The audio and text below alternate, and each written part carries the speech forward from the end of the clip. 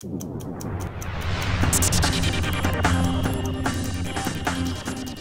Put that old iPad to work as a permanent display for your digital photos. Get started with Apple's built-in picture frame feature to view the photos as a slideshow. Choose a specific album or all the photos and adjust just a few other settings and you're ready to roll. If you crave more features like the addition of music to your slideshow, download a specific app like the $4 Photo Slideshow Director HD Pro.